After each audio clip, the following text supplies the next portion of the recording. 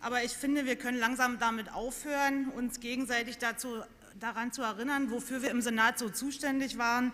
Sie waren ja unter anderem Finanzstaatssekretärin und haben heftig dazu beigetragen, dass viele Vorschläge, die wir gemacht haben, sich eben nicht durchgesetzt haben. Aber das soll hier gar nicht der Punkt sein. Ich schätze Sie.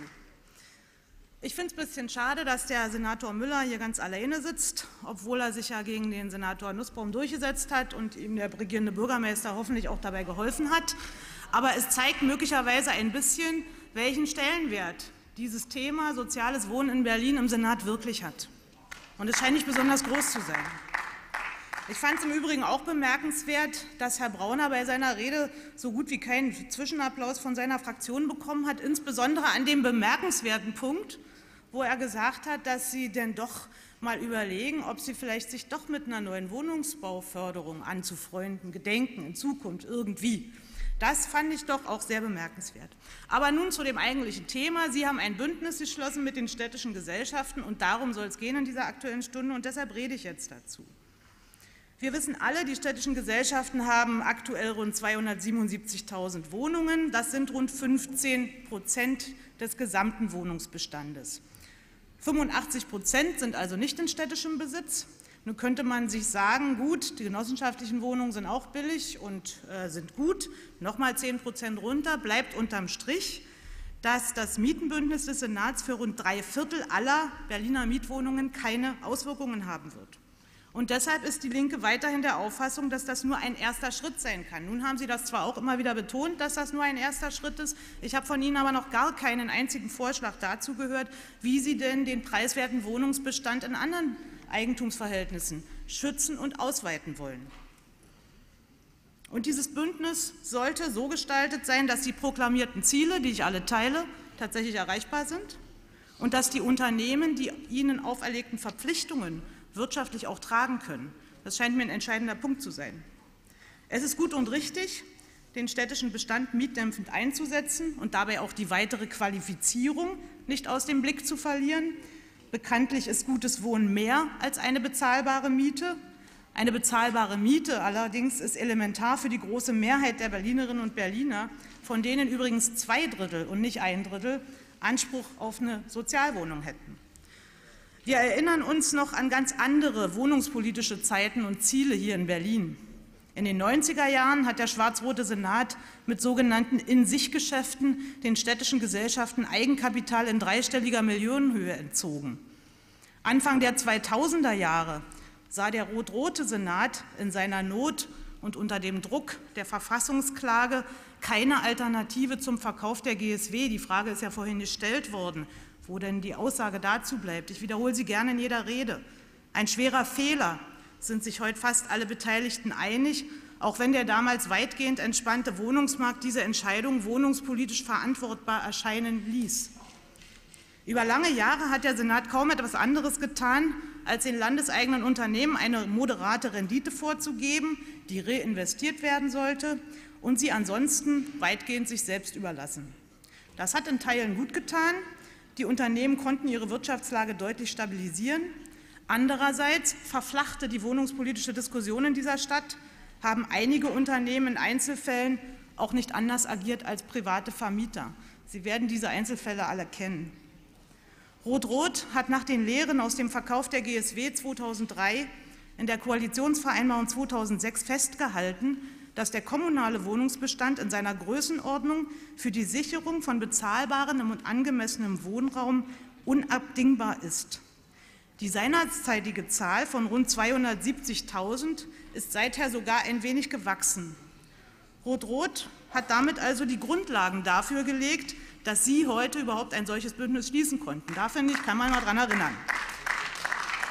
Es gehört eben zur Wahrheit und zur Ehrlichkeit, dass der Privatisierungsstopp 2006 aufgrund der Linken und übrigens im Dissens mit CDU und auch Teilen der Grünen vereinbart worden ist. Das Bündnis für soziale Wohnungspolitik und bezahlbare Mieten ist nun ein Dreivierteljahr nach seiner mehrfachen Ankündigung unter Dach und Fach. Der damit verbundene Mietenstopp wird damit aufgehoben und in Kürze werden den Mieterinnen und Mietern Zehntausende Mieterhöhungsschreiben ins Haus flattern. Aus Sicht der Linksfraktion ist das das falsche wohnungspolitische Signal. Zwar werden diese Mieterhöhungsmöglichkeiten begrenzt auf 15 Prozent in vier Jahren. Damit wird die Bundesratsinitiative von Rot-Rot, die auf den gesamten Mietwohnungsbestand zielt, für die städtischen Wohnungen umgesetzt. Wie gesagt, lediglich rund 15 Prozent gehören dem Land Berlin. Damit diese wiederum effektiv mietdämpfend wirken, müssen in diesem städtischen Bestand Mietsteigerungen entweder gänzlich vermieden oder deutlich stärker begrenzt werden. Da reichen die 15 Prozent nicht aus. Im Übrigen muss hier der Bund endlich handeln und Berlin muss seine Aktivitäten im Bundesrat verstärken. Bei der ersten Behandlung des Mietrechtsänderungsgesetzes im Bundesrat vor der Sommerpause gab es keine Mehrheit für den Berliner Vorstoß. Das haben Sie hier vergessen zu erwähnen. Und zwar haben CDU-geführte Bundesländer diesen Vorstoß blockiert. Hier kann und muss sich also die Berliner CDU ins Zeug legen, um ihre Parteifreunde umzustimmen. Und noch etwas.